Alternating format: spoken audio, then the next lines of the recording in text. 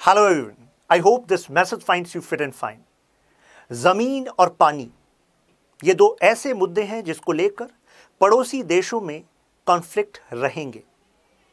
ये इंसाइट्स थी चाणक्य की इन हिज मंडल थियरी वो एंशंट टाइम में ये बात कर रहे थे। तो ज़मीन और पानी ही क्यों? इसका एक कारण आप कहेंगे कि, सर, किसी भी राज्य, किसी भी नेशन की बाउंड्री उसकी टेरिटरी तो सबसे इंपॉर्टेंट है। मींस कोई भी देश बनता है, उसकी टेरिटरी से, उसकी पॉपुलेशन से, उसकी गवर्नमेंट से और गवर्नमेंट के पास जो संप्रभुता है सोवनिटी है, उससे है। तो ज़ाहिर सी बात है, ज़मीन तो डिस्प्यूट का कारण रहेगी। इसके बाद पानी क्यों? पानी एसेंशियल है for the sustenance sustenance of population as well as agriculture यहाँ पर मैं आपको कहना चाहूँगा कि एग्रीकल्चर भी इसका एक प्राइमरी लिंक है। चाणक्य की जो मंडल थियरी है, जितनी सटीक वो साउथ एशियन पॉलिटिक्स को समझने में बैठती है, उतनी सटीक आज की यूरोपियन पॉलिटिक्स में नहीं। उसका एक कारण एग्रीकल्चर पर डिपेंडेंस भी है। चलिए इस इंसाइट से अब बात करते हैं आज के टॉपिक के बारे में इंडिया बांग्लादेश रिलेशंस इंडिया और बांग्लादेश में अगर हम कन्फ्लिक्ट की बात करें तो लैंड डिस्प्यूट रहे हैं। काफ़ी हद तक सॉल्व भी हुए हैं, उसकी बात हम करेंगे। वाटर की बात करें तो वाटर चाहे तीस्ता का हो मींस रिवर वाटर डिस्प्यूट वो भी रहा है। गंगा फरक्का बराज, जिसकी हम आज बात करने वाले हैं। इसके अलावा मैरिटाइम डिस्प्यूट भी रहा है मींस एक्सक्लूसिव इकोनॉमिक जोन लेकिन एक खास बात है, जिसकी वजह से आज बांग्लादेश इस मुकाम पर है। Second largest South Asian economy यानी कि जिस देश से वो अलग हुआ था पाकिस्तान से, आज वो पाकिस्तान से तो काफ़ी आगे पहुँच चुका है in terms of macro economy factors along with this अगर हम डेवलपमेंटल फैक्टर्स की बात करें तो उसमें कई मायनों में बांग्लादेश इंडिया से भी आगे जा रहा है, जैसे gender parity and hunger to be prominent तो यानी कि ये तो समझ में आया कि बांग्लादेश ने काफ़ी कुछ अचीव किया। लेकिन ऐसा क्या डिफरेंट बांग्लादेश ने किया? और भारत के साथ उसके रिलेशंस कैसे रहे हैं? जैसे इंडिया बांग्लादेश की बात आती है तो आमतौर पर आपके दिमाग में आता होगा विजय दिवस। कि बांग्लादेश के साथ तो हमारे रिलेशंस अच्छे ही रहते होंगे। क्यों? क्योंकि बांग्लादेश के लिबरेशन को कराने में हम मेजर कंट्रीब्यूटर थे। 1971 लिबरेशन वॉर राइट लेकिन कहानी कुछ इससे अलग है। यानी कि इंडिया बांग्लादेश रिलेशंस में अपने क्रस्ट एंड ट्रफ भी आए हैं। यानी कि अपने उतार चढ़ाव भी आए हैं। और मैं आपको ये बता दूँ, अंतर्राष्ट्रीय राजनीति ऐसे नहीं चलती कि अच्छा ठीक है, इसके लिबरेशन में, इस बांग्लादेश के क्रिएशन में अगर आपने कंट्रीब्यूट किया था तो अब ये हमेशा के लिए आपके इंटरेस्ट में ही काम करेगा, ऐसा नहीं है। और इसी वजह से चाइना के साथ बांग्लादेश की बढ़ती करीबियाँ इंडिया को संशय में डाल रही हैं। क्योंकि जब भी हमारे सिक्योरिटी पॉलिसी मेकर्स बैठते हैं तो वो ये सोचते हैं कि अगर ऐसे डेवलपमेंट्स अभी हम देख रहे हैं तो वर्स केस सिनेरियो क्या हो सकता है? क्योंकि तभी हम अपनी सिक्योरिटी मैट्रिक्स को प्रॉपरली डिज़ाइन कर पाएँगे राइट खैर, कहा जा रहा है कि इंडिया बांग्लादेश के रिलेशंस अब मैच्योर फ़ेज़ में हैं। मैच्योर क्यों कहा जा रहा है? ये भी हमें जानना है। पचास सालों में बांग्लादेश ने काफ़ी कुछ बदला है। अब बांग्लादेश जियो बड़ा इंपॉर्टेंट है इंडिया के लिए। जियो इसकी जोग्राफी क्योंकि लॉन्गेस्ट बाउंड्री इंडिया की अगर किसी देश के साथ है तो वो है बांग्लादेश। नॉर्थ ईस्ट में हमें सिक्योरिटी प्रोस्पेरिटी इंश्योर करनी है। तो उसके लिए बांग्लादेश हमारे लिए इंपॉर्टेंट है, क्योंकि बांग्लादेश के लैंड रूट का इस्तेमाल करके हम सिग्निफिकेंटली रिड्यूस कर सकते हैं of this reaching out to these areas in north east right साथ में 54 कॉमन रिवर्स हैं इंडिया एंड बांग्लादेश के बीच में, जिसके लिए हमने एक जॉइंट रिवर कमीशन भी बनाई हुई है। कुछ basic facts India first largest economy है साउथ एशिया में और बांग्लादेश सेकंड है। लेकिन इन दोनों के आपस के ट्रेड कैसे हैं? और वो किसके फेवर में है, ये भी हमें जानना होगा। अगर बांग्लादेश की हिस्ट्री की बात करें तो आपको पता है कि एक टाइम पर यह एरिया बंगाल प्रोविंस का पार्ट था। यानी कि हम कल्चरली लिंग्विस्टिकली कनेक्टेड हैं। बांग्लादेश का anthem national anthem Amar Sonar Bangla India का नेशनल एंथम जनगण मन किसने बनाया? रविन्द्रनाथ टैगोर जी ने बनाया। तो कहने का मतलब यह है this lot of there are lot of points on which we have common standing but having common standing does not suffice our understanding of geo politics यानी कि और भी कई सारे फैक्टर्स हैं। जैसे कहते हैं ना कि लोग बुरे नहीं होते, हालात बदलते हैं तो लोगों के फैसले बदलते हैं। और कई बार वो फैसले आपको नेगेटिवली इम्पैक्ट भी कर जाते हैं। तो इसी वजह से geopolitics is about understanding the equations और हालात दूसरे के बदले और वो अपने फैसले बदले जिसका आप पर नकारात्मक प्रभाव हो तो आप अपनी इक्वेशंस को सेट प्रॉपरली पहले से ही कर लीजिए। खैर, क्या रीजंस रहे बांग्लादेश के क्रिएशन के from eastern Pakistan? Prominent being political imbalance इसका मतलब क्या है?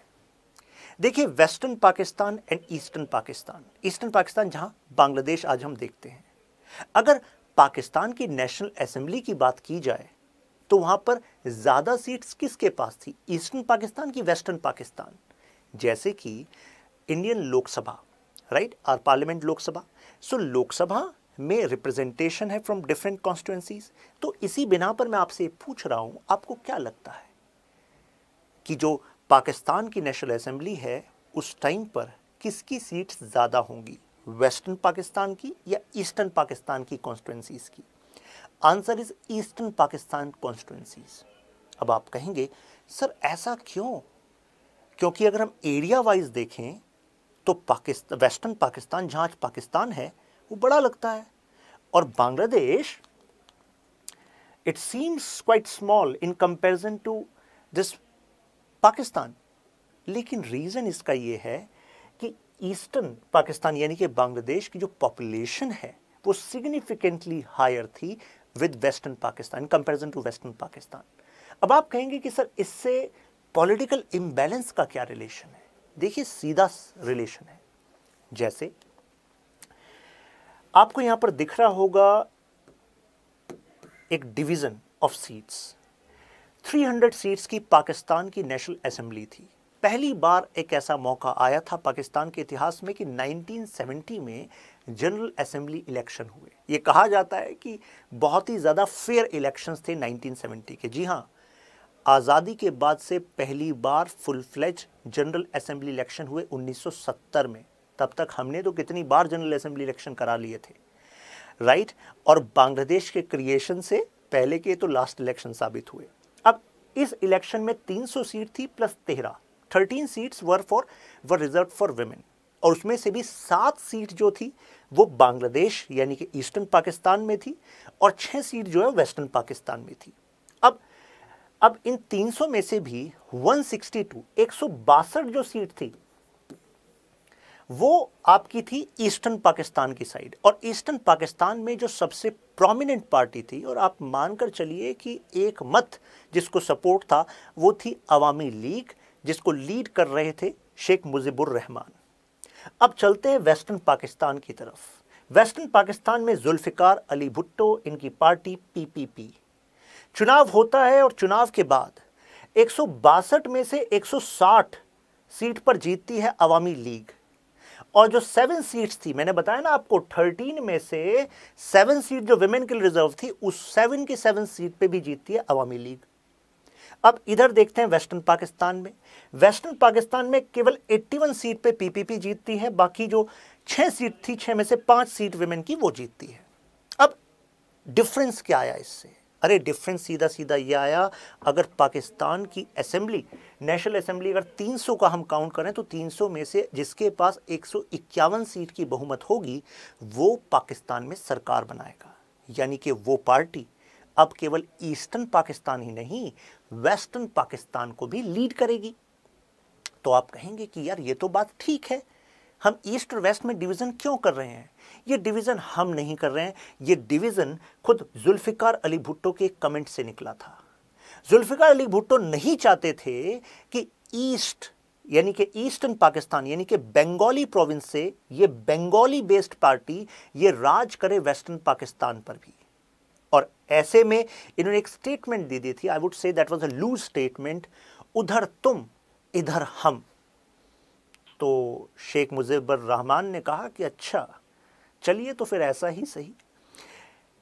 इस नेशनल असेंबली के इलेक्शन के बाद जब इन्हें मौका मिलना चाहिए था सरकार बनाने का जुल्फ़िकार अली भुट्टो ने कोलाइड किया with the president of the time of Pakistan और इनको मौका ही नहीं दिया सरकार बनाने का। इसके बाद इनकी पार्टी ने एक नई कैंपेन स्टार्ट करी। सिक्स पॉइंट कैंपेन कहा कि हमारी मांगे हैं कि आप ईस्टर्न पाकिस्तान को ऑटोनोमस रीजन घोषित करिए। पाकिस्तान का साथ बना रहेगा, लेकिन हमारी कुछ स्वायत्ताएँ होनी चाहिए, क्योंकि हमें लगता है कि वेस्टर्न पाकिस्तान जो है हमारे साथ अनफेयर कर रहा है। मिलिट्री स्टैब्लिशमेंट में कौन है? वेस्टर्न पाकिस्तान के जनरल्स। पॉलिटिकल स्टैब्लिशमेंट में कौन है? वेस्टर्न पाकिस्तान के लोग। और जो लेजिटिमेटली हम जीत रहे हैं, वो भी नहीं करने दे रहे। तो ऐसे में इस सिक्स पॉइंट प्रोग्राम के बाद देखा गया कि जो प्रोविंशियल इलेक्शन थे, उसमें भी अवामी लीग ने झंडा फहरा दिया। अब ऐसे में क्या, अब आप सोच रहे होंगे, क्या शेख मुजीबुर रहमान की पार्टी ने ईस्टर्न पाकिस्तान में नहीं लड़ा था चुनाव? जी, लड़ा था चुनाव। एक भी सीट नहीं निकली थी। क्या शेख मुजीबुर रहमान की अवामी लीग ने वेस्टर्न पाकिस्तान में नहीं लड़ा था? चुनाव लड़ा था लेकिन एक भी सीट नहीं निकली थी इनकी भी वहाँ पर। तो यानी कि इनका जो होल्ड था जैसे इनको 160 मिल गई तो इनका होल्ड ईस्टर्न में था और इनका कुछ होल्ड वेस्टर्न में था। और इनकी इनकी इतने नंबर्स कम क्यों गए? इसके पीछे एक कारण है कि इनके कॉम्पिटिटर में और भी कई सारी पार्टीज़ थी जैसे मुस्लिम लीग कयूम ऐसे और कुछ इस्लामिक पार्टीज़ थी। तो इनकी सीट तो वहाँ पर बट रही थी लेकिन यहाँ पर एक छत्र इन, इनको सपोर्ट मिल रहा था। तो यानी कि ये आपकी बात आपको पता लग गई कि पॉलिटिकल इम्बैलेंस चल रहा था राइट लैंडस्लाइड विक्ट्री होती है अवामी लीग की, इससे ये कनेक्टेड है, आपको मैंने भी समझाया। और कल्चरल डिफरेंस थे, वो नहीं चाहते थे कि Bengali based parties that should actually have hold over hold Pakistan अब ऑपरेशन सर्चलाइट शुरू होता है, क्योंकि मैंने आपको बताया कि मुजीबुर रहमान ने मांग करनी स्टार्ट कर दी कि हमें चाहिए ऑटोनोमस रीजन तो ऐसे में वेस्टर्न पाकिस्तान से बेस्ड आर्मी जनरल्स ने ऑपरेशन सर्चलाइट स्टार्ट किया कि जो भी पाकिस्तानी हुकूमत के खिलाफ आवाज़ उठा रहा है, उसको दबा दीजिए। Means to crush the rebels this operation started लेकिन ये और ज़्यादा नेगेटिव साबित हुआ पाकिस्तान के लिए। क्योंकि अभी तो वो ऑटोनोमस रीजन की मांग कर रहे थे। अब इस सर्चलाइट ऑपरेशन ने प्रूव कर दिया कि और कोई रास्ता नहीं है। हमें अब चाहिए एक अलग नेशन तो मुजीबुर रहमान और फिर एक मुक्ति बाहिनी, जो एक आर्म्ड ग्रुप बना और कहा जाता है कि इसको ट्रेन किया इंडियन इंटेलिजेंस एजेंसीज ने और फिर मुक्ति बाहिनी, क्योंकि इस ट्रेन थी are means was actually equipped with weapons which were provided by India तो they were fighting side by side with Indian army जिससे कि अब ये जो लड़ाई थी, ये कोई इंडियन आर्मी पाकिस्तान के साथ केवल नहीं लड़ रही थी ये एक तरीके से सिविल वॉर बन गया था और वह वहाँ हम ह्यूमैनिटेरियन ग्राउंड पर और खुद अपने एरिया की स्टेबिलिटी के लिए, क्योंकि वहाँ पर जो क्राइसिस हो रहे थे उससे इमिग्रेंट, इमिग्रेशन की पॉपुलेशन मींस इलीगल इमिग्रेंट्स बढ़ रहे थे हमारे नॉर्थ ईस्टर्न रीजन में तो हमारे लिए भी डोमेस्टिक सिक्योरिटी इशू था। तो इस ग्राउंड पर हम कह सकते हैं कि India intervened for the liberation of Bangladesh, right? Indo Bangla cooperation हो जाता है, जिसकी मैंने बात कही, मुक्ति वाहिनी, सपोर्ट मिलता है। अब इसके बाद क्रिएशन हो जाता है बांग्लादेश का राइट अब इस क्रिएशन के बाद होता क्या है? शेख मुजीबुर रहमान की सरकार बनती है और ये कहा जाता है कि स्टार्टिंग के कुछ दिनों में तो बांग्लादेश की जो हुकूमत है वो कोलकाता से चल रही थी, यानी कि कुछ लीडर्स जो हैं वो सिक्योरिटी पर्पस की वजह से जो महत्वपूर्ण डिसीज़न ले रहे थे वो कोलकाता में रहकर ले रहे थे। तो इंडियन गवर्नमेंट का सपोर्ट था।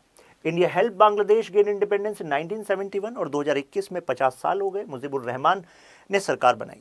अब इसके बाद ज़ाहिर सी बात थी कि क्योंकि इंडिया का मेजर रोल रहा है तो इंडिया पहला वो देश बना जिसने डिप्लोमेटिक रिलेशन स्टैब्लिश किए और रिकॉग्नाइज किया कि Bangladesh is a separate nation right अब यहाँ पर एक बहुत चीज़ ज़्यादा इंपॉर्टेंट है। International relation are not just about events in events के अंदर हैं कुछ लेयर्स उनको समझना ज़रूरी है।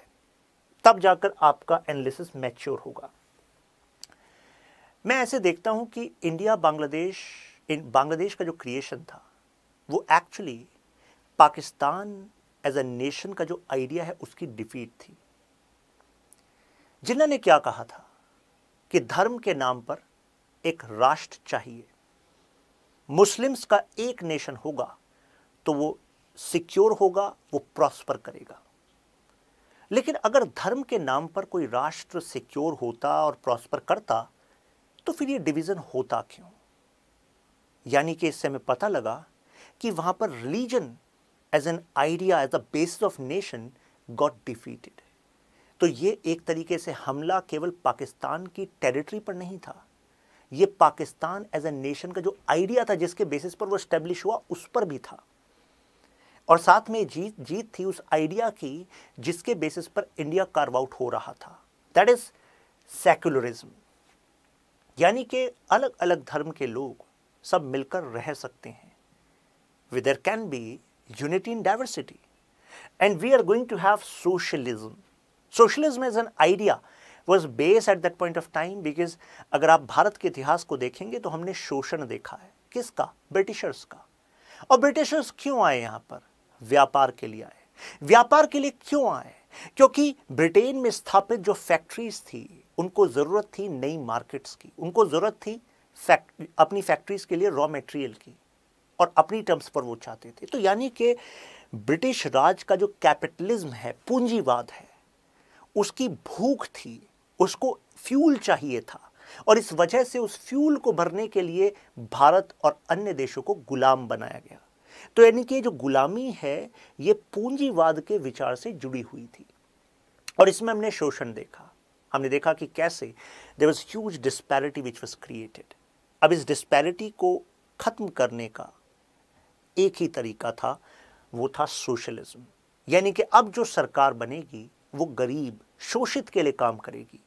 क्योंकि जब मैंने आपसे कहा कि नेशन जो है टेरिटरी से बनता है पॉपुलेशन से बनता है, अगर पॉपुलेशन वीक है पॉपुलेशन गरीब है तो वो देश कैसे समृद्ध बन जाएगा? तो पॉपुलेशन को तो मज़बूत करना पड़ेगा ना तो सरकार को इस गरीब तबके पर ध्यान देना होगा। जब ये एलिवेट होगा तो देश एलिवेट होगा। तो सेम आइडिया पर बांग्लादेश बना था। राइट तो it was extension of idea of India as a nation this idea was being penetrated in to Bangladesh clear है so this was good for India and India Bangladesh relation were going good लेकिन जैसे कि आप देखते हैं ज़िंदगी में और कई कहानियों में, अच्छी चीज़ें ऐसा नहीं है कि हमेशा चलती ही रहे। तो ऐसे ही कुछ चेंजेस आते हैं बांग्लादेश में भी। सबसे पहले तो समझते हैं कि बांग्लादेश की कंडीशन कैसी थी। बांग्लादेश में पोवर्टी थी अनएम्प्लॉयमेंट था। ऑलरेडी वेस्टर्न पाकिस्तान की फोर्सेस ने वहाँ पर एक्सप्लोटेशन किया ही था। और वो वेस्टर्न पाकिस्तान के कंपैरिजन में अगर हम बात करें तो भी उससे बहुत पीछे था right and it was an aid dependent country यानी कि बेसिक नेसेसिटीज़ को फुलफिल करने के लिए भी सरकार के पास ज़रूरी रिसोर्सेज नहीं थे। अब जैसा कि मैंने कहा स्टोरी में ट्विस्ट आता है। अब इन मुद्दों पर काम करने लग गए थे।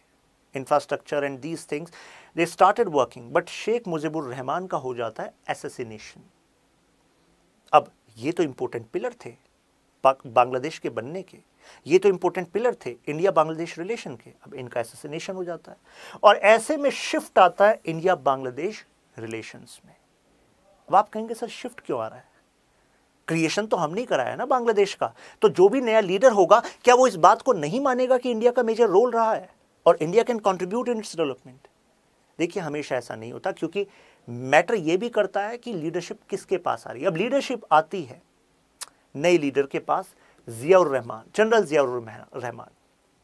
अब जो लोकतंत्र की आस थी वहाँ पर, जो डेमोक्रेसी की एक उम्मीद थी, अब वो कहीं खो जाती है आफ्टर जनरल जियाउर रहमान।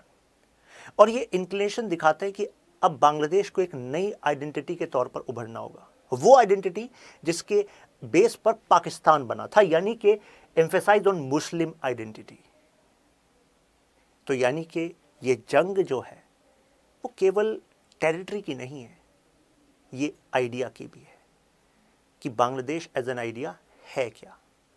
आप में से कई लोग सोचते होंगे कि सर ये क्या बकवास बात है मतलब इससे क्या हो जाएगा? आपको लगता होगा कि ये secularism Muslim as an identity ये तो कुछ शब्द हैं। कहीं पर लिख दिए जाएँ तो कोई इतना मायने नहीं रखता। मैं बताना चाहूँगा कि reality is shadow of our ideas यानी कि जो वास्तविकता है, वो हमारे विचारों की ही छाया है। अगर आपने मुस्लिम आइडेंटिटी के बेसिस पर फोर्ज किया बांग्लादेश को तो इसका सीधा सीधा मुझे बताइए प्रभाव आने वाली जो पॉलिसीज़ होंगी बांग्लादेश की सरकार की उस पर होगा कि नहीं होगा? अब जब बांग्लादेश की हुकूमत की जो पॉलिसीज़ हैं वो इस्लामिक क्रेडेंशियल से डिसाइड होंगी तो मुझे बताइए, ऐसी सरकार की जो स्कीम्स होंगी उस पर फ़र्क पड़ेगा? तो ऐसे में जो आउटकम्स होंगे in economic sector in political sector in social sector उस पर भी इंपैक्ट होगा कि नहीं होगा? होगा। इस वजह से आइडियाज़ मैटर राइट अगर कहीं पर भी डाइवर्सिटी है किसी भी एरिया में तो वहाँ पर एक आइडेंटिटी को फोर्ज करना कि यही है बस देश की आइडेंटिटी तो वो मैं कहना चाहूँगा कि उस पूरे देश के लिए नामाकूल है। It's not good because it will create resentment और रिसेंटमेंट से कभी भी देश आगे नहीं बढ़ता right so he revived relations with Pakistan and China तो अब आपको लग रहा होगा कि ये तो बिल्कुल एंटी इंडिया स्टैंड लेकर बैठ गए। जी हाँ कुछ ऐसा ही चल रहा था। और ये कहा जाता है कि ऐसा उन्होंने इसलिए किया क्योंकि वो नहीं चाहते थे कि बांग्लादेश केवल इंडिया पर डिपेंडेंट रहे।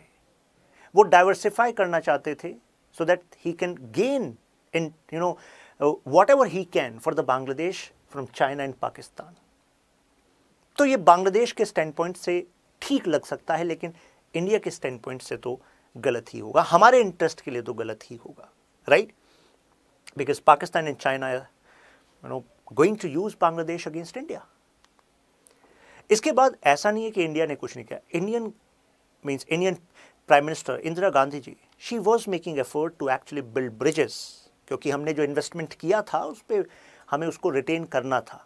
लेकिन कुछ ज़्यादा फ्रूटफुल नहीं रहे, क्योंकि मिस्टर रिया ज़ियाउर रहमान अपना इंक्लिनेशन बना चुके थे।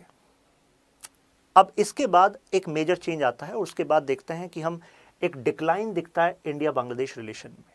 वो था इंडिया का step to build Farakka barrage अब आप कहेंगे, एक प्रोजेक्ट से इंडिया बांग्लादेश रिलेशन में क्या इंपैक्ट होगा सर जी, होगा। ज़रा देखिए। सबसे पहले समझते हैं फरक्का बराज है क्या। बराज समझते हैं आप। अगर मान लीजिए कोई रिवर है, उसके रिवर के फ्लो को हमें डाइवर्ट करना है कुछ पार्ट को थ्रू दिस कैनाल तो हम क्या करते हैं? बराज बनाते हैं। जैसे मैं आपको समझाता हूँ। ये है हमारी गंगा रिवर ठीक है? और गंगा रिवर की यहाँ पर आप देख रहे हैं, ये है फरक्का बराज, जो कि इंडियन गवर्नमेंट ने बनाया। इसका पर्पस क्या था? ये रिवर का पानी आप देख रहे होंगे, दो जगह फ्लो हो। रहा है एक तरफ़ हुगली है और दूसरी तरफ़ यहाँ पर जा रहा है, जिसको हम पदमा कहते हैं, जो बांग्लादेश में चली जाती है। बैराज बनाकर हमने वाटर का एक पोर्शन डाइवर्ट कर दिया हुगली की तरफ़। यानी कि अब जो पानी यहाँ पर जाएगा वो कौन कंट्रोल करेगा? इंडिया कंट्रोल करेगा। और आपको पता है, बांग्लादेश में भी significant amount of population at that point of time was dependent on agriculture और एग्रीकल्चर के लिए छे पानी। तो ऐसे में इनको, सबसे पहले तो इनके एग्रीकल्चर को भी नुकसान। दूसरा, इनका ये कहना था कि जब गर्मियों का टाइम होता है तो उस टाइम पर यहाँ पर पानी कम हो जाता है। और जिस टाइम पर हमें पानी की ज़रूरत नहीं होती, जब आपके पास भी ओवरफ्लो होता है तो उस टाइम पर आप हमारे तरफ़ ओवरफ्लो कर देते हो, जिससे हमारे यहाँ फ्लड जैसी कंडीशन बन जाती है। तो आपको कुछ वाजिब बातें ही लगेंगी। लेकिन फिर इंडिया ने ऐसा क्यों करा? देखिए, इंडिया के इंटरेस्ट के लिए ज़रूरत था। कोलकाता पोर्ट को हमें प्रिजर्व करना था और यहाँ पर हुगली वाले जो रिवर बेसिन आप देख रहे हैं, यहाँ पर सिल्टिंग की प्रॉब्लम थी। तो ऐसे में अगर हम रिवर का फ्लो यहाँ पर बढ़ा देते हैं तो सिल्टिंग मतलब जो जमा हो जाता है, रेत जमा हो जाता है, वो क्लियर होगा और ऐसे में ये जो पोर्ट है, ये अपना एफिशिएंटली काम कर पाएगा। तो यानी कि हम अपने इंटरेस्ट के लिए कर रहे थे और बांग्लादेश को अपना इंटरेस्ट दिख रहा था, उनको लग रहा था कि हमारे लिए नुकसानदायक होगा। तो क्या इंडिया ने बांग्लादेश की बिल्कुल नहीं सोची? ऐसा नहीं है। इंडिया का ये मानना था कि देखिए, हम कोई मेजर चेंज नहीं लाएँगे वाटर वाटर में। ये केवल हम इसलिए कर रहे हैं क्योंकि ये हमारे मेजरली इस कोलकाता पोर्ट को हमें प्रिजर्व करना है। ये सिर्फ़ हम इसलिए कर रहे हैं। तो we are going to ensure that adequate amount of flow is going to manage towards Padma ये इंडिया का स्टैंड था। लेकिन बांग्लादेश को ये ठीक नहीं लगा।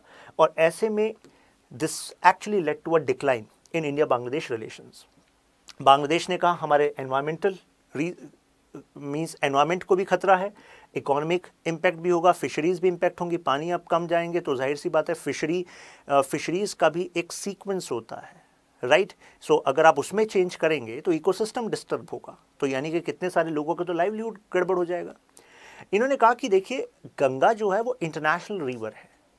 अगर एक देश से दूसरे देश में आ रही तो दैट इज़ इंटरनेशनल तो ऐसे में आप उस पर ऑटोनोमस डिसीज़न कैसे ले सकते हैं? अगर पानी हमारे क्षेत्र में भी आ रहा है तो हमसे भी सलाह मशवरा करना चाहिए था। तो ऐसे में जो जियाउर रहमान हैं, वो कहते हैं कि एक आइडिया है। आइडिया यह है कि सार्क नेशंस बनाइए आप, एक सार्क एक ग्रुप बनाइए साउथ एशियन नेशंस की फॉर रीजनल कोऑपरेशन और ये छोटे छोटे देश मिलकर काउंटर बैलेंस करेंगे इंडिया को। ऐसा क्यों? क्योंकि जियाउर रहमान कह रहे थे कि देखिए इंडिया साइज़ में इकोनॉमी में, कई सारे फैक्टर्स में, इन छोटे छोटे देशों से ज़्यादा ऊपर है। बांग्लादेश हुआ, नेपाल हुआ, भूटान हुआ, श्रीलंका हुआ। तो हम साथ आ जाते हैं। तो यानी कि सार्क का जो आइडिया ये कंसेप्चुलाइज कर रहे थे, वो टू बैलेंस इंडिया लेकिन उसके बाद एसेसिनेशन हो जाता है जियाउर रहमान का। और उसके बाद हम देखते हैं कि बांग्लादेश की पॉलिसी में बड़ा चेंज आता है। अब यहाँ से मैं मैं कहना चाहूँगा इस बात को आप समझिएगा। बांग्लादेश के साथ इंडिया के लैंड डिस्प्यूट थे, जी हाँ थे, वाटर डिस्प्यूट थे, जी हाँ थे, आपका मैरिटाइम डिस्प्यूट थे, जी हाँ थे, क्लैरिटी नहीं थी। लेकिन बांग्लादेश ने उनको कारण मानकर अपना एंगेजमेंट इंडिया के साथ क्या रोका था? नहीं। यानी कि यहाँ पर हमें पता लगता है कि बांग्लादेश ने जियो इकोनॉमिक्स को प्रायोरिटी दी जियो पॉलिटिक्स को बैक सीट में रखा।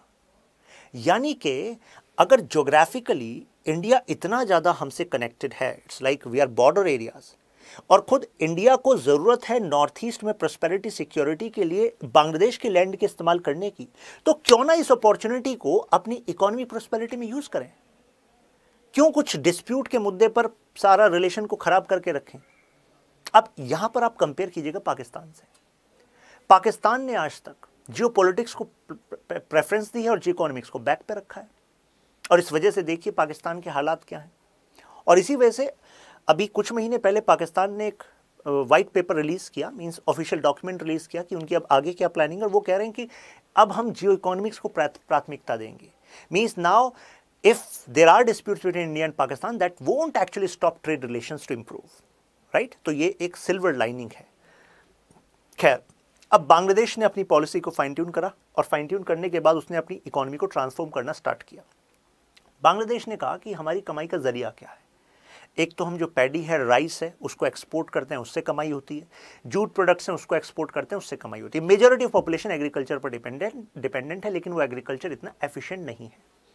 तो ज़ाहिर सी बात है, अपनी इकोनॉमी को करना पड़ेगा डाइवर्सिफाई। एग्रीकल्चर से अब जाना पड़ेगा सर्विस सेक्टर में भी और मैन्युफैक्चरिंग सेक्टर में भी। अब कौन से मैन्युफैक्चरिंग सेक्टर में जाएँ जहाँ पर इंफ्रास्ट्रक्चर की ज़रूरत कम हो? क्योंकि हमारे पास उतना पैसा नहीं है कि हम यहाँ पर हैवी इंडस्ट्रीज़ लगाएँगे you know cement industries and big projects we can not do that so why not support industries which require minimum investment and minimum support by government government support कर देंगे in terms of policies tax rebates दे देंगे. Export पे rebate दे देंगे import पे rebate दे देंगे. Right right? Enabler बन जाएँगे. तो ऐसे में इन्होंने चूज़ किया ऐसी industry for example textile industry pharma industry right अब जिस टाइम पर वो ये कर रहे थे, उस टाइम पर इंडिया में क्या चल रहा था? इंडिया भी उस टाइम पर बैलेंस ऑफ़ पेमेंट क्राइसिस की तरफ़ बढ़ रहा था। यानी कि इंडिया में भी जितना ज़्यादा हम इंपोर्ट कर रहे थे बाहर से, उतना ज़्यादा हम एक्सपोर्ट नहीं कर रहे थे। तो ज़ाहिर सी बात है फॉरेन एक्सचेंज रिज़र्व यानी कि जो हमारे पास हमें चाहिए फॉरेन एक्सचेंज जिसके थ्रू हम ट्रेड करते हैं, वो मात्र इतना रह गया था in 1991 when this situation get worsen got worsen कि हम केवल तीन हफ़्ते का इंपोर्ट कर सकते थे। अब ज़ाहिर सी बात है कि इंडिया को भी ट्रांसफॉर्म करना था बांग्लादेश को भी ट्रांसफॉर्म करना था। तो इन दोनों ने सोचा कि जो सार्क सार्क कह रहे थे जियाउर रहमान, क्यों ना सार्क को एज अ एज अ ऐसी ग्रुपिंग की तरह हम इस्तेमाल करें जिससे कि हम आपस में ट्रेड बढ़ाएँ। अगर हमने आपस में ट्रेड बढ़ाया तो सबके लिए फ़ायदा है।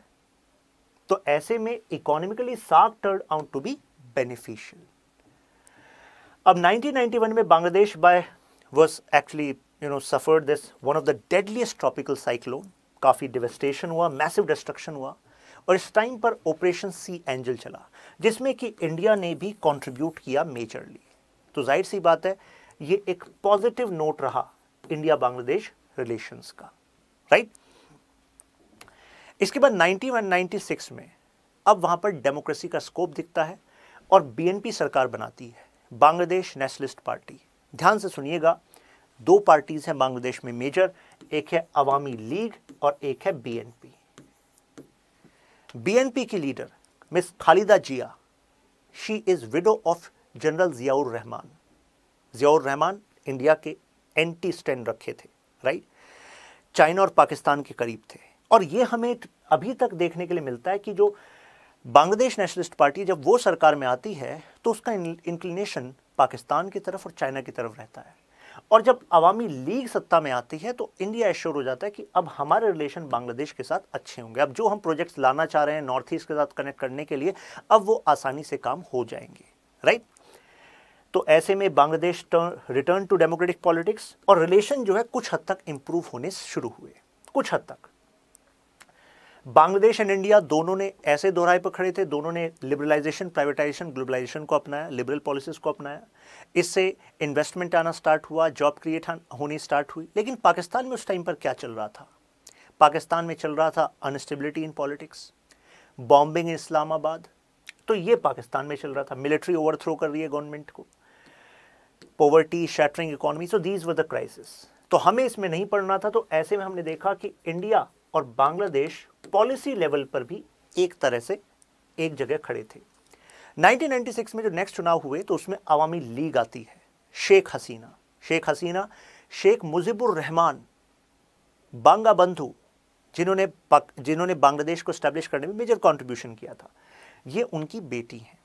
उस एसेसिनेशन में ये बच गई थी, क्योंकि ये उस दिन घर में नहीं थी। The whole family was killed so इन्होंने फाइनली जो फरक्का बराज गंगा रिवर को लेकर जो डिस्प्यूट था, वो रिजॉल्व हुआ और यहाँ पर एक एग्रीमेंट हो गया कि गंगा से कितना वाटर किसकी तरफ़ जाएगा।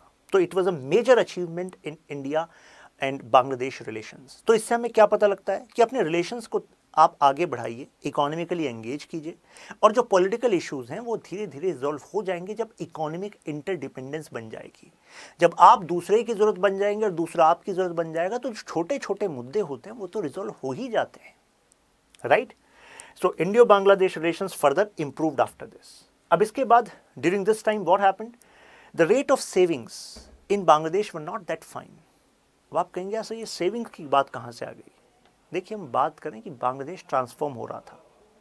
तो ऐसे में एक्सपोर्ट तो बढ़ा, लेकिन देखिए, कोई भी जो डेवलपिंग नेशन होता है, उसमें अगर सेविंग रेट अच्छा रहता है, यानी कि आप सेविंग कर रहे हैं स्मॉल सेविंग स्कीम में डाल रहे हैं बैंक के पास रख रहे हैं तो उस पैसे का होता क्या है?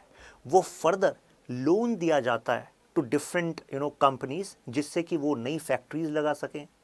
और नई फैक्ट्रीज लगाएँगी तो नए लोगों को जॉब्स भी मिलेगी, कुछ प्रोडक्शन भी होगा।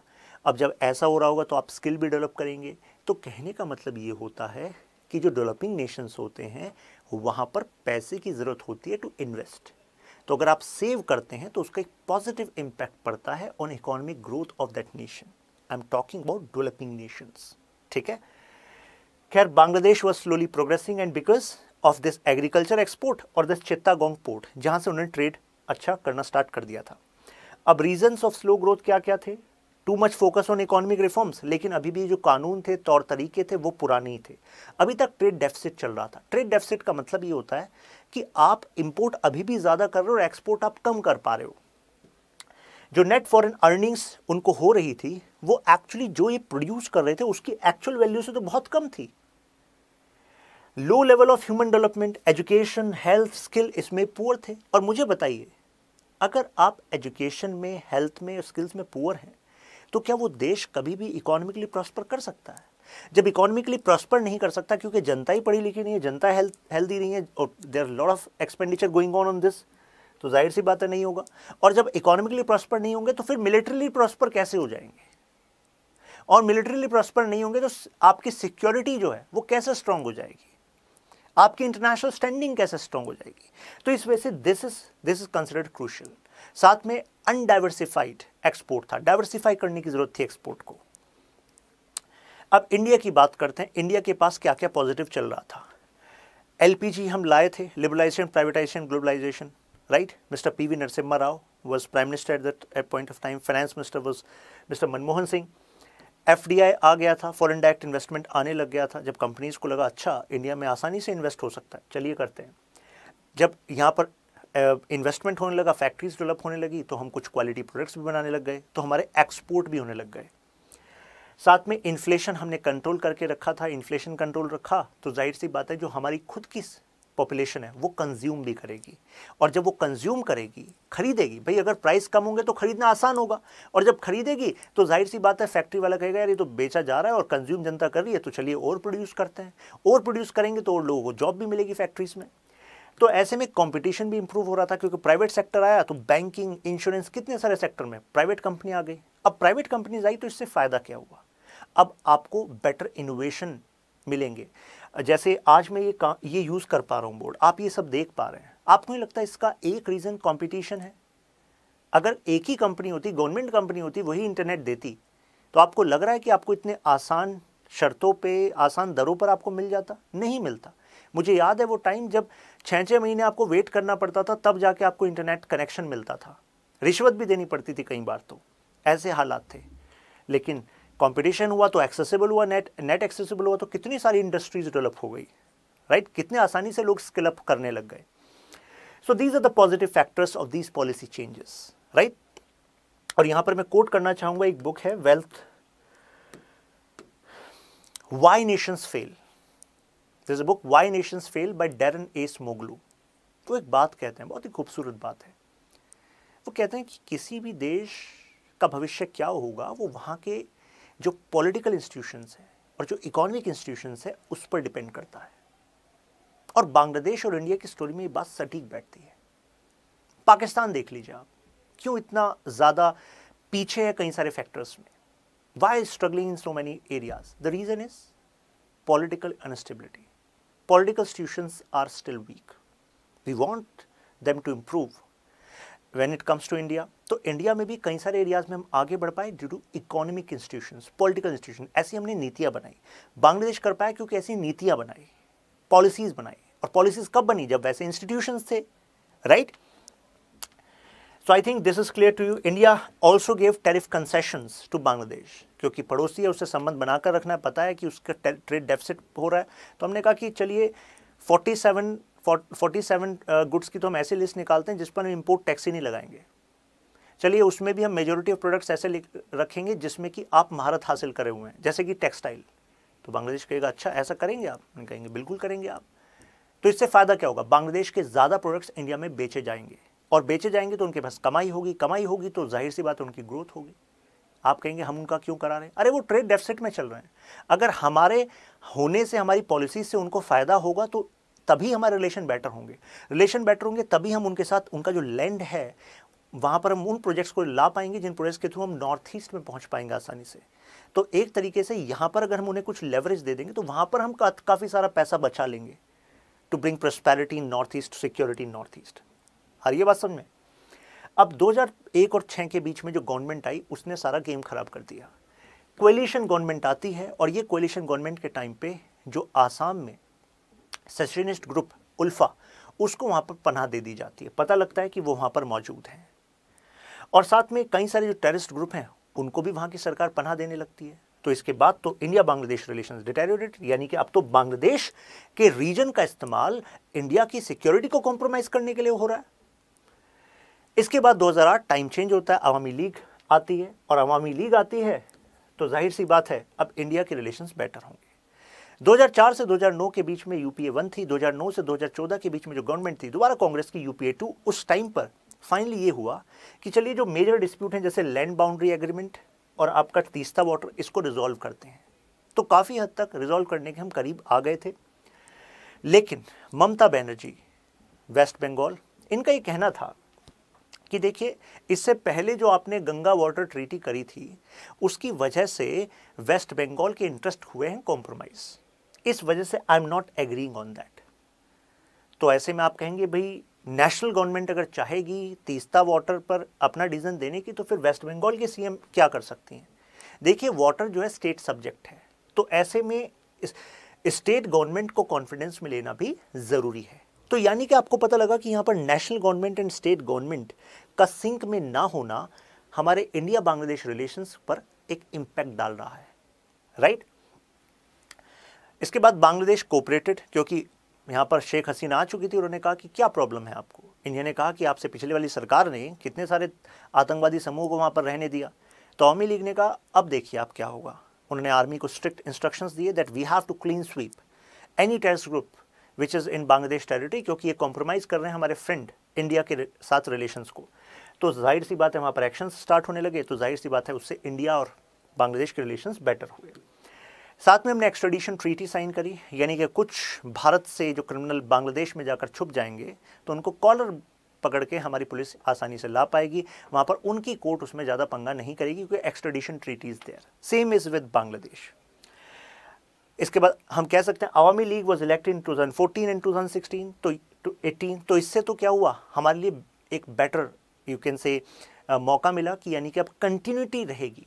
तो यानी कि अगर हम 2014 में कोई प्रोजेक्ट हमने सोचा कि this will be the rail link this will be the highway अगर सेम सरकार रिपीट हो रही है, ऐसी सरकार जो इंडिया के फेवर में है तो ज़ाहिर सी बात है इन प्रोजेक्ट्स के कंप्लीट होने फ़ंक्शन होने में हमारे, हमें क्या होगा? एक आसानी मिलेगी।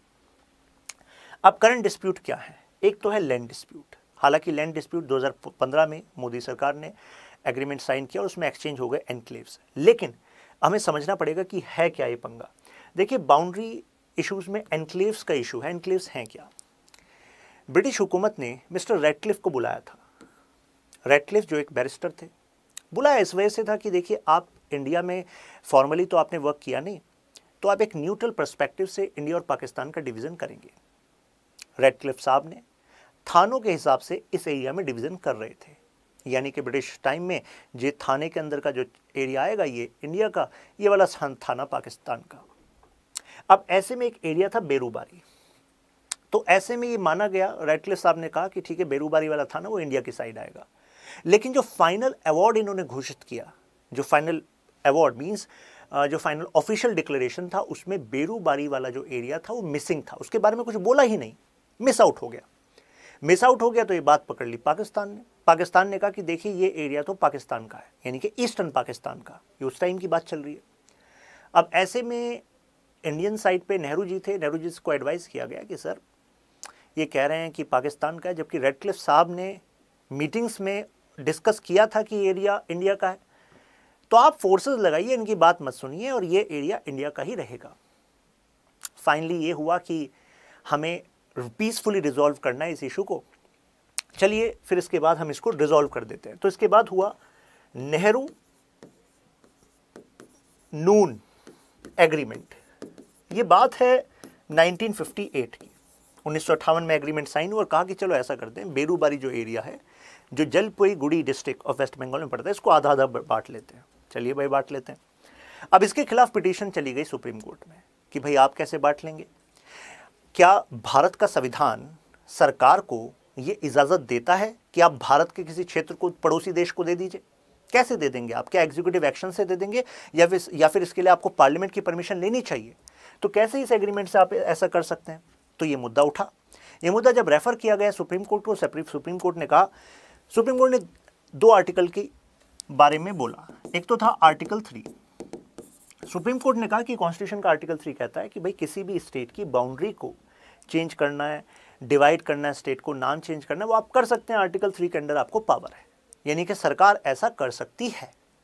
लेकिन यहाँ पर जो आप बाउंड्री चेंज कर रहे हैं किसी स्टेट की, किसी स्टेट की थोड़ा भी एरिया उस एरिया को भी अगर आप दूसरे को दे रहे हैं, यानी कि बाउंड्री चेंज हो रहा है, ऐसा बाउंड्री चेंज हम आर्टिकल थ्री के अंडर नहीं करेंगे, क्योंकि आर्टिकल थ्री ये नहीं कहता कि आप अपने क्षेत्र को किसी को दे सकते हैं सीड नहीं कर सकते। उसके लिए आपको यूज़ करना पड़ेगा आर्टिकल थ्री का रूट कॉन्स्टिट्यूशन अमेंडमेंट आपको प्रॉपर लाना होगा।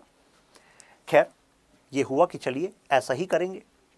हालाँकि बेरूबारी जजमेंट में तो ये आ गया कि ये आपको ऐसा फॉर्मली कॉन्स्टिट्यूशन अमेंडमेंट लाना पड़ेगा। हालाँकि उसके बाद की बात है, ये तो 1960 की बात है 69 में जब रिव्यू हो रहा था, ये decision with regard to exchange of enclave तो सुप्रीम कोर्ट ने ये भी बात मान ली कि देखिए, अगर एक्सचेंज कर रहे हैं एक्सचेंज का मतलब है कि हमारे भी कुछ एरिया हैं जो उसके पास हैं, वो हम ले रहे हैं। हमारे, उनके पास हमारे एरियाज़ हैं, हमारे पास उनके एरियाज़ हैं, वो हम दे रहे हैं। तो इस एक्सचेंज को फिर हम ये ना माने कि सेसेशन है, और ऐसे में हम फॉर्मली एग्जीक्यूटिव एक्शन से भी ऐसा कर सकते हैं। आपके मन में सवाल आ रहा होगा कि सर, ऐसा कैसे हो सकता है? मतलब इंडिया के कुछ एरियाज़ बांग्लादेश के पास हैं, ऐसा कैसे हो सकता है? जी हाँ होता है। कैसे? जो फॉर्मल अनाउंसमेंट हुआ, उसमें तो आपने बाउंड्रीज को डिवाइड कर दिया। लेकिन, जो एडमिनिस्ट्रेशन को कार्यवाही करनी थी, इन एरियाज़ को फॉर्मली एक्सचेंज करने की एक नया देश बना था, वो पूरी नहीं हो पाई। तो इस वजह से कई एनक्लेव्स ऐसे थे छोटे छोटे एरियाज़ ऐसे थे कि ऑफिशियली था कि वो पाक, ईस्टर्न पाकिस्तान के थे बाद में बांग्लादेश के माने जाएँ लेकिन उस पर जो एडमिनिस्ट्रेशन कंट्रोल कर रहा था वो इंडिया का कर रहा था। ऐसे ही बांग्लादेश में कुछ एरियाज़ ऐसे थे ऑफिशियली वो इंडिया के होने चाहिए लेकिन वह बांग्लादेश का एडमिनिस्ट्रेशन काम कर रहा था। तो ये हमारा लैंड डिस्प्यूट में आता है। तो इसको कहा गया कि इसको तो आप एक्सचेंज करिए। हालाँकि वो एक्सचेंज हुआ जो मैं आप, आपको बताने वाला हूँ टू में। अब इसमें एक और बहुत ही अच्छा सा मुद्दा है तीन बीघा कॉरिडोर जरा देखिए तीन बीघा कॉरिडोर है क्या? ये है हमारा बांग्लादेश, ये हमारा इंडिया। अब बांग्लादेश में ये आपको दिख रहा होगा तीन बीघा करोड़ों, इस एरिया। अब इस एरिया को यहाँ पर मैंने थोड़ा बड़ा कर दिया है। अब जरा देखिए। ये एरिया है बांग्लादेश का, ठीक है, जो आपको दिख रहा है ग्रीन पार्ट में। ये है तीस्ता रिवर और ये है पूरा इंडिया का एरिया, ठीक है। अब देखिए, यहाँ पर जो आपको दिख रहा है अंगरपोटा एंड धागरम, ये जो एरिया है, ये बांग्लादेश के एरिया है। Mean this is Bangladeshi territory but it is surrounded by India ये छोटा सा एरिया अलग आ गया, ऐसा डिवीज़न हुआ। तो अब मुझे बताइए कि अगर यहाँ पर जो इक्यावन हज़ार की जनसंख्या रह रही थी, उसको अगर यहाँ पर जाना है बांग्लादेश वाले एरिया में तो कैसे जाएगा? क्या हर बार उनको इस टेरिटरी से गुजरना है? तो हर बार वीज़ा पूरी फॉर्मेलिटीज़ करनी पड़ेगी। अगर ऐसा करेंगे तो ये तो इनके लिए बड़ी दिक्कत हो जाएगी। तो फाइनली ये हुआ कि चलिए इस एरिया में आप तीन बीघा इनको, भारत सरकार तीन बीघा थ्री बीघा तीन मतलब three bigha means is is a unit of area इसको हम जो है लीज पर दे देंगे, जिससे कि ये जो एक कॉरिडोर बनाएँगे मीन्स एक रोड बनाएँगे अपनी टेरिटरी से, और उसमें अलाउ कर देंगे कि आपको जाना इधर जाइए, आना आइए, लेकिन ये जो अलाउ होगा, आना जाना ये बारह घंटे के लिए होगा। ट्वेल्व आवर्स डे टाइम हालाँकि बांग्लादेश ने कहा, ये तो बड़ी दिक्कत वाली बात हो जाएगी इनके लिए। हम चाहते हैं फ्री एक्सचेंज हो। आसानी से किसी भी टाइम आ जा सके। इनके लिए ज़रूरी है। तो फाइनली इंडिया ने कहा कि ठीक है, चलिए ऐसा भी कर देते हैं, हम आपको लीज पे देते हैं एरिया राइट तो this is also towards the resolution clear है? अब देखिए, यही वो एरियाज़ में आपको जरा दिखा देता हूँ मैप में अच्छे से। क्योंकि जब मैं एनक्लेव चेंज करने की बात कर रहा हूँ तो मुझे लगता है कि अभी तक आपके दिमाग में केवल वेस्ट बंगाल आ रहा है कि अच्छा वेस्ट बंगाल में कुछ एनक्लेव थे, उधर बांग्लादेश में कुछ एनक्लेव थे, ऐसा नहीं है। वेस्ट बंगाल में थे, देखिए जो रेड हैं, वो एरियाज़ हैं गोइंग टू बांग्लादेश यानी कि रेड वाला एरिया इंडिया कंट्रोल कर रहा था बांग्लादेश को गया है। ब्लैक वाला कमिंग टू इंडिया यानी कि इंडिया की तरफ़ था, लेकिन बांग्लादेश कंट्रोल कर रहा था, अब इंडिया की तरफ़ है। ऐसे आप देखिए, मेघालय में भी है, आसाम में भी है, त्रिपुरा में भी है। तो यानी कि आसाम, मेघालय, त्रिपुरा में भी वो एनक्लेव थे जिनको एक्सचेंज किया गया। अब एक्सचेंज जरा देखिए। India has one triple one enclave and Bangladesh has fifty one enclave अगर एरिया देखें सत्रह हज़ार एक सौ अट्ठावन seventeen thousand one hundred fifty eight एकड़ ऑफ़ लैंड और population thirty seven thousand something so this much land was belonging to Bangladesh was but was in control of India ये देखिए seven thousand one hundred ten एकड़ so this land belong to India but it was controlled by Bangladesh अब आप कहेंगे कि sir क्यों ना ऐसा करते कि एक्सचेंज ही ना करते? फ़ायदा तो अपना लग रहा है। हमने तो सत्रह हज़ार के आस, एकड़ के आसपास लैंड मतलब अपने अंडर किया हुआ था। तो फिर एक्सचेंज क्यों किया? हमें तो घाटा हो गया इससे। देखिए, इसको ऐसे समझिए कि ये इंटरनेशनली जब ये कार्व आउट हुई थी और जो इंटरनेशनली रिकोगनाइज हुआ था कि this will be the boundary between India and Pakistan तो उसके हिसाब से डिवीज़न हुआ था। और अगर हम इसको नहीं मानते तो ये लॉन्ग टर्म डिस्प्यूट बना रहता इंडिया बांग्लादेश रिलेशंस में। Number one second international level पर हमारी जो स्टैंडिंग है, उसको ये कॉम्प्रोमाइज़ करता। राइट तो इस वजह से ऐसे फैसले लेने ज़रूरी होते हैं। लेकिन क्या इतना स्मूथ था? नहीं। जैसे, अब जरा यहाँ पर मैं आपको पॉइंट दिखाना चाहूँगा वेस्ट बंगाल की सीएम उनका कहना है कि इस एक्सचेंज की वजह से हो सकता है पचास से साठ हज़ार लोग इंडिया में और ज़्यादा आ जाएँ स्पेसिफिकली इन वेस्ट बंगाल तो ऐसे में उनका रिहेबिलिटेशन कैसे होगा? यानी कि तो एडिशनल बर्डन हो जाएगा वेस्ट बंगाल गवर्नमेंट पे, इनका ये कहना है। दूसरा, फिर गवर्नमेंट ने इसका क्या कहा? गवर्नमेंट ने कहा, हम आपको तीन हज़ार करोड़ का स्पेशल रिहेबिलिटेशन पैकेज देंगे स्टेट्स को, जिससे कि वो फ़ूड शेल्टर और इनका इंतज़ाम कर सकें. हालाँकि मैं आपको ये भी बता दूँ कि इन लोगों को चॉइस दी गई कि आप जिस एरिया में हैं, उस एरिया में जैसे अभी बांग्लादेश एडमिनिस्ट्रेशन है तो आप वहीं की नागरिकता रखना चाहते हैं, वहीं की रखिए। आपको चेंज करनी है इंडिया की करनी है तो इंडिया की नागरिकता आपको मिल जाएगी। तो ये इनको फैसिलिटी दी गई थी। ये पीडीएफ मेरे Telegram group Shashank Tyagi for you में अवेलेबल हो जाएगी तो you can read it no worries कोई डाउट होगा तो Shashank dot power being Instagram handle है, आप कोई भी मैसेज करेंगे तो इट गेट रिप्लाइड तो अब ये जो पूरा इशू है 2015 में सेटल हो गया हंड्रेड कॉन्स्टिट्यूशन अमेंडमेंट लाया गया इसको लैंड स्वैप कराने के लिए। तो फाइनली इट इज़ डन ठीक है? अब ऐसा डिस्प्यूट हुआ क्यों? ये इतना ज़्यादा कन्फ्यूज़न हुआ क्यों एनक्लेव्स को लेकर? उसका एक रीज़न है क्योंकि जो रिवर है, वो अपना फ्लो चेंज करती है right with time water also reduces in river basin जैसा हमने देखा है। तो कई बार ये देखा गया था कि अच्छा इस रिवर से इस तरफ़ का जो एरिया है, वो पाकिस्तान का होगा, इस तरफ़ का इंडिया का होगा। अब वो रिवर ही चेंज हो गई ट्रेजेक्ट्री चेंज हो गई। तो ज़ाहिर सी बात है, अब वहाँ पर कंफ्यूजन होगा कि नहीं होगा? होगा। Same confusion we are actually observing in case of Kalapani issue with respect to India Nepal relation जहाँ हम नेपाल वाले वीडियो में उसकी बात करेंगे। इलीगल इमिग्रेंट ये मेजर इशू है। अब देखिए आंकड़ा देखिए, दो से छह करोड़ कहा जाता है इलीगल इमिग्रेंट्स बांग्लादेश वाले एरिया से इंडिया में आए। अब वेरिएशन देखिए, दो से छह करोड़ मतलब चार करोड़ को क्या कुछ नहीं मान रहे। वो इस वजह से ऐसा बोला जा रहा है क्योंकि एग्जैक्ट पता लगा पाना बहुत मुश्किल है right such is the you know migration अब इससे होता क्या है? इससे जो आपके नॉर्थ ईस्टर्न वाले एरियाज़ है, जब वहाँ पर इलीगल माइग्रेंट्स आ गए डेमोग्राफी चेंज हुई, उन्होंने कई सारे जो गवर्नमेंट लैंड थे, उसको ऑक्यूपाई किया एज शेल्टर रह रहे थे, फिर धीरे धीरे वो परमानेंट हो गए। परमानेंट हो गए तो फिर वोट बन गई। वोट बन गई तो अब जो लोकल पॉलिटिक्स है, उसमें उनका डोमिनेंस हो गया। तो ऐसे में जो इंडिया की इंडिजिनस पॉपुलेशन थी उस एरिया की, उन्होंने कहा तो हमारे अधिकारों को छीनने वाली बात है। तो अगर आप इलीगल इमिग्रेंट्स को आने दे रहे हैं तो इससे तो भारत के, खुद के लोगों के अधिकारों को छीनने वाली बात हो गई।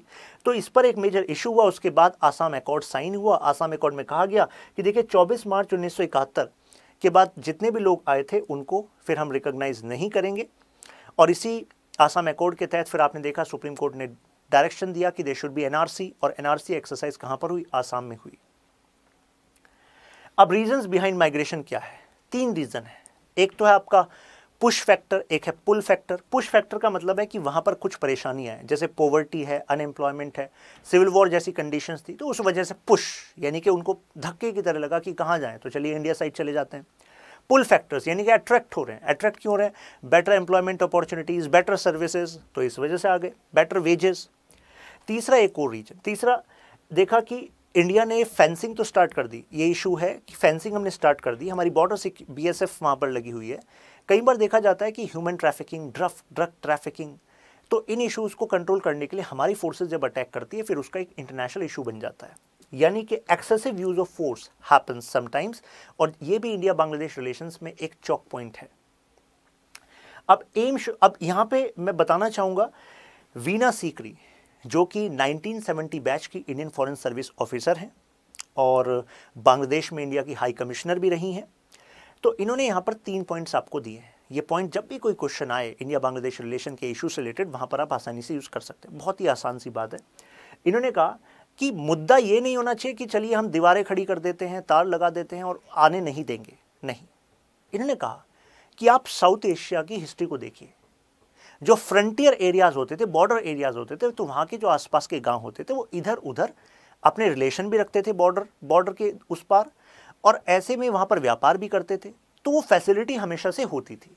ये जो बाउंड्री का कंसेप्ट है, स्पेसिफिक लाइन खींचेंगे और यहाँ पर वायर आ जाएँगे, ये कंसेप्ट जो है वेस्ट का कंसेप्ट है। और इस वजह से ये जो फ्रंटियर एरियाज़ की जो कम्युनिटीज़ हैं, इनको बड़ी प्रॉब्लम होती है। तो ऐसे में बेटर सोल्यूशन ये है कि आप रेगुलेट कर दीजिए। अगर वो इधर आए तो वैलिड एक वर्क वीज़ा उनके पास हो, जिससे हम उनकी आइडेंटिफिकेशन कर सकें कि अच्छा आप वहाँ से वर्क वीज़ा पर आए तो इतने टाइम के लिए कर सकते हैं, वापस आपको जाना पड़ेगा। दूसरा, इन्होंने कहा कि क्लाइमेट चेंज भी एक बड़ा इशू है। जैसे बांग्लादेश लो लाइंग स्टेट है। क्लाइमेट चेंज होगा सी वाटर राइज होगा तो ऐसे में बांग्लादेश पर इम्पैक्ट होगा। अब बांग्लादेश पर इम्पैक्ट होगा तो, तो बांग्लादेश से जो पॉपुलेशन है अपना लाइवलीहुड जब कॉम्प्रोमाइज होगा उनका तो वो किस तरफ़ आएँगे? और ज़्यादा इंडिया की तरफ़ आएँगे। तो अगर इमिग्रेंट इशू को सॉल्व करना है तो उसको थोड़ा कॉम्प्रहेंसिवली सोचिए। केवल दीवार बनाने से सॉल्व नहीं होगा। जिन जिन समस्याओं की वजह से उत्पन्न होता है from which actually causes this हमें कॉज पे काम करना होगा। तो climate change is also one cause और जो पुश एंड पुल फैक्टर्स हैं, इन पर भी काम करना होगा, क्योंकि कॉज पे काम कीजिए rather than just shooting people who actually try to trespass this border this is her view अब मिलिट्री इशू क्या है? 1975 में both Awami League and BNP they actually favoured good relation with China both favoured good relation with China और मैंने बताया Awami league और BNP में से Awami League favours good relation with India लेकिन जो बीएनपी है, वो इंडिया के साथ अच्छे रिलेशन का उतना इंक्लिनेशन नहीं रखती। 2002 में बांग्लादेश ने चाइना के साथ डिफेंस कोऑपरेशन एग्रीमेंट साइन किया, जिसके तहत now their forces are cooperating in terms of logistics in terms of technology sharing Xi Jinping ने विज़िट करी और कहा कि बांग्लादेश हमारा स्ट्रेटेजिक पार्टनर है। स्ट्रेटेजिक पार्टनर अब ये क्यों है स्ट्रेटेजिक पार्टनर क्योंकि चाइना को पता है कि इंडिया के साथ रिलेशंस अच्छे नहीं हैं। तो ऐसे में बांग्लादेश में अपना बेस अगर बना लिए तो ज़ाहिर सी बात है मीन से इन्वेस्टमेंट करेंगे पोर्ट में इन्वेस्ट करेंगे, उसके बाद फिर अगर पैसे वापस नहीं दे पाए तो सोवनिटी कॉम्प्रोमाइज़ करा लेंगे, उसके बाद अपने बेसिस बना देंगे, उसके बाद अपने बेसिस बनाकर, आपको नहीं लगता है जो चिकन कॉरिडोर है, सिलीगुड़ी कॉरिडोर है इस पर स्ट्रेटेजिकली चाइना स्ट्रॉन्ग पोजीशन में आ जाएगा। इंडिया की सिक्योरिटी के लिए खतरा है। तो इस पॉइंट पर हमें इसको देखना होगा। साथ में चाइना क्या कर रहा है? China to twenty four billion dollar का L O C means means line of credit कि आपको हम इंफ्रास्ट्रक्चर के लोन देंगे, ये उन्होंने प्रॉमिस किया है। China supply two Ming class submarines also to Bangladesh water dispute पे बात करें तो ऐसे में ममता बनर्जी का ये कहना है कि देखिए जब अभी जो लास्ट विज़िट थी इनकी बांग्लादेश में, इन्होंने शेख हसीना जी से कहा कि तीस्ता पर सोल्यूशन हम भी निकालना चाहते हैं। बस ये चाहते हैं कि जो भी सोल्यूशन हो, उसमें मुझे भी कॉन्फिडेंस में रखा जाए। यहाँ पर मैंने इसकी पास की ट्रेजेक्ट्री बताई है। जैसे मनमोहन सिंह जी गए थे बांग्लादेश, ये एक्सपेक्ट किया जा रहा था कि ममता बनर्जी भी जाएँगी। ममता बनर्जी यूपीए की कोलिशन की मेंबर थी। यानी कि गठबंधन की सरकार में वो पार्ट थी। लेकिन उन्होंने ट्रिप कैंसिल कर दी। मोदी जी गए 2015 में। तो उसमें भी कोई बेटर रिज़ल्ट नहीं निकल कर आए मोदी जी फिर ममता बनर्जी से मिले। अब इसके बाद ममता बनर्जी जो विज़िट करी, उसमें बताया कि हाँ मैं रिलेशन के फेवर में हूँ, लेकिन हमें एक बीच का रास्ता निकालना होगा, मुझे कॉन्फिडेंस में रखा जाए। तो हमें पता लगा कि इंडिया कंस्ट्रक्टेड फरक्का बराज, ये एक वाटर इशू था। गंगा वाटर एग्रीमेंट ये भी एक इशू था। मतलब ममता बनर्जी के लिए इशू था। हम तो कह रहे हैं कि एक मेजर अचीवमेंट है। बराक रिवर पर यहाँ पर जो डैम का प्रोजेक्ट है, वो भी पेंडिंग है।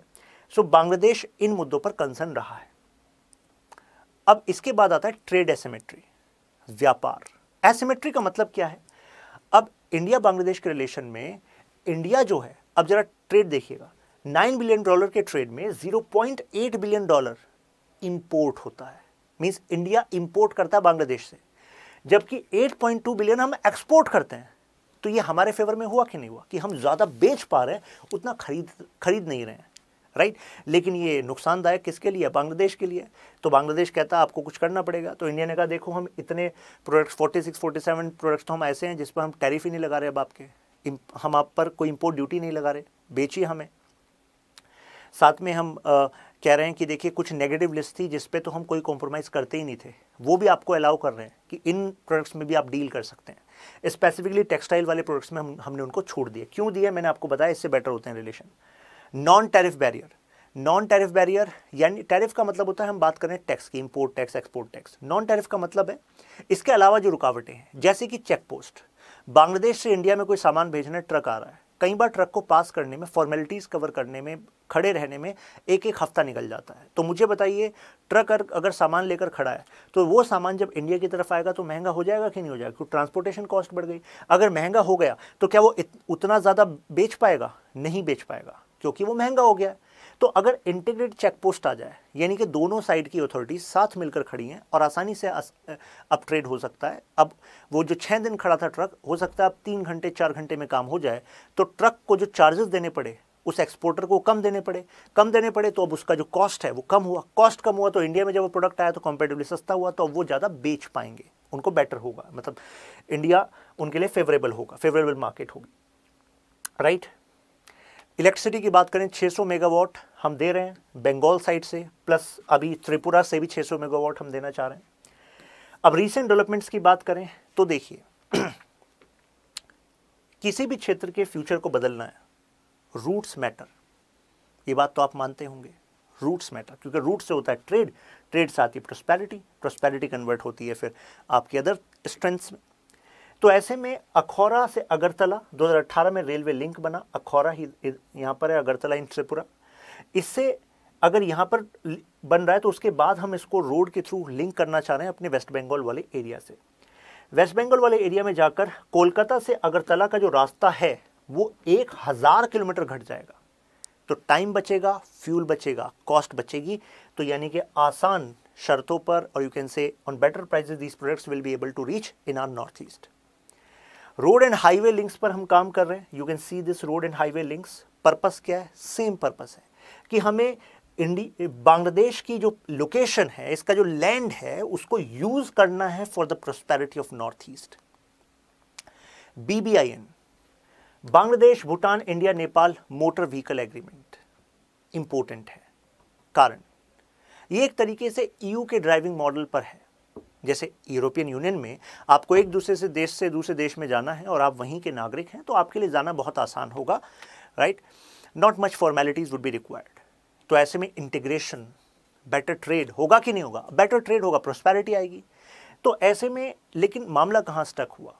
Bangladesh agreed India agreed Nepal agreed Bhutan में जो लोअर हाउस है दैट एग्रीड बट जो अपर हाउस है, भूटान का, वहाँ से उन्होंने क्लियर नहीं करा। क्योंकि जो रूलिंग पार्टी थी, उनकी मेजोरिटी नहीं थी अपर हाउस में।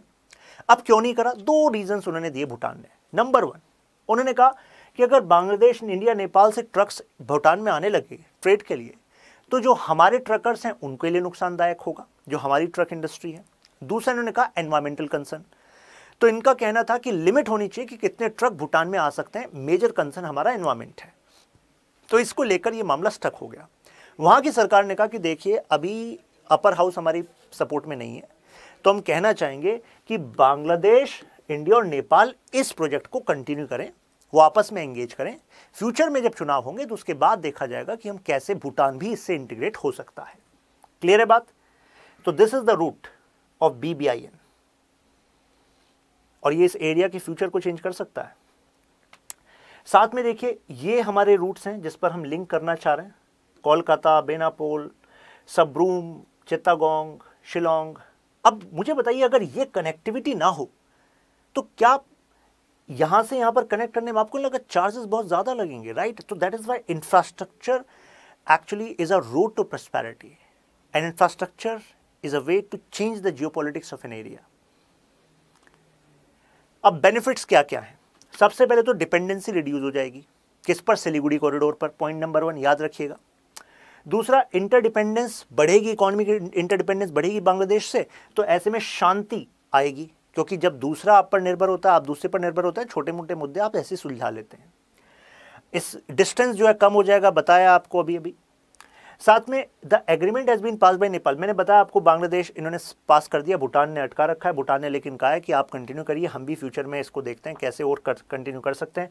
India Bhutan have already having such agreement यानी कि इंडिया और भूटान के पास है, बांग्लादेश और नेपाल को साथ मिलकर जो इंटीग्रेट करना है, वो हमें बीबीआई में करना है। तो इंडिया की जो स्ट्रेटेजिक रिलेशन है, आप कहाँ पर स्टैंड कर रहे हैं? हमने फाइव बिलियन डॉलर का लाइन ऑफ़ क्रेडिट प्रॉमिस किया है बांग्लादेश को डिफेंस सेक्टर के लिए। हथियार खरीदिए आप। तो डिफेंस कोऑपरेशन फ्रेमवर्क भी हमने साइन किया है। रूपपुर न्यूक्लियर पावर प्लांट बनवा रहे हैं, एक हज़ार मेगावाट का, जिससे कि आप पावर पे आपकी जो रिलायंस है डिपेंडेंस है, वो कम हो। कॉरपेट यानी कि patrolling activities in this bay of Bengal region उसमें भी हमारी और बांग्लादेश की नेवी साथ काम कर रही है। अब रीज़न क्या है बांग्लादेश की फास्ट ग्रोथ के पीछे? नंबर वन एक तो पीछा छोटा पाकिस्तान से, नहीं तो वही अनस्टेबिलिटी रहती और प्रोस्पेरिटी ना हो पाती। दूसरा लेबर लॉज जो हैं वो इतने स्ट्रांग नहीं है। लेबर लॉ स्ट्रांग नहीं है तो इस वजह से कई सारी फॉरेन कंपनियों ने कहा कि अच्छा लेबर लॉज वीक हैं तो चलो हम यहाँ पर इन्वेस्टमेंट कर जाते हैं प्रॉफिट हम मैक्सिमाइज कर लेंगे। तीसरा garment industry garment industry labour intensive industry है। यानी कि जिसमें इन्वेस्टमेंट कम है in comparison to big industries लेकिन नौकरियाँ ज़्यादा लोगों को मिल जाती है। तो वो बांग्लादेश के मॉडल के लिए तो बिल्कुल सटीक था। इसमें एक और रीज़न है कि बांग्लादेश ने जो फीमेल पार्टिसिपेशन लेबर फोर्स है, उसको इम्प्रूव करा, जो पाकिस्तान में नहीं था। और मैं आपको बता दूँ, इस, ये केवल सामाजिक मुद्दा नहीं है। इसका सीधा सीधा रिलेशन इकोनॉमिक्स से है। अगर हमारे समाज का जो अदर हाफ़ है विमेन है, उनको आप अनबर्डन करेंगे, उनका पार्टिसिपेशन बेटर होगा हारमनी होगी तो उससे प्रोस्पैरिटी भी आती है। ठीक है? इंडस्ट्री और सर्विस सेक्टर पर उन्होंने पुश किया एग्रीकल्चर पर डिपेंडेंस को कम किया, क्योंकि एग्रीकल्चर उतना ज़्यादा एफिशिएंट नहीं हो रहा था। इंडिया की हम बात करें तो इंडिया स्ट्रगल कर रहा है मींस एग्रीकल्चर सेक्टर में अभी भी बहुत ज़्यादा डिपेंडेंस है।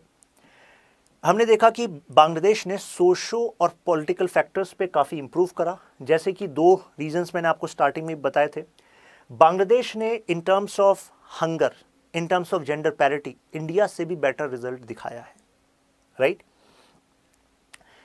तो यानी कि हम कह सकते हैं कि जो डाइवोर्स हुआ बांग्लादेश का पाकिस्तान से, वो डाइवोर्स एक्चुअली बांग्लादेश को economically and you can say other factors पे मज़बूत कर पाया। अब यहाँ पर एक रियलिस्ट परस्पेक्टिव से हम इस वीडियो को एंड करेंगे। रियलिस्ट परस्पेक्टिव सीधी सी बात मतलब इंदिरा गांधी जी, जिनकी पॉलिटिकल विल थी कि बांग्लादेश क्रिएट हो पाया, उनका क्या मानना था? She was not doing from idealist perspective अच्छा ऐसा होना चाहिए। वो लॉन्ग टर्म इंडिया के इंटरेस्ट को भी देख रही थी। उनका कहना था कि बांग्लादेश के साथ हमारे रिलेशन अच्छे रहेंगे और इस वजह से अच्छे रहेंगे क्योंकि हमारे लिए भी फ़ायदा है और उनके लिए भी फ़ायदा है। It's not going to be one sided friendship it is going to be have both ways ठीक है?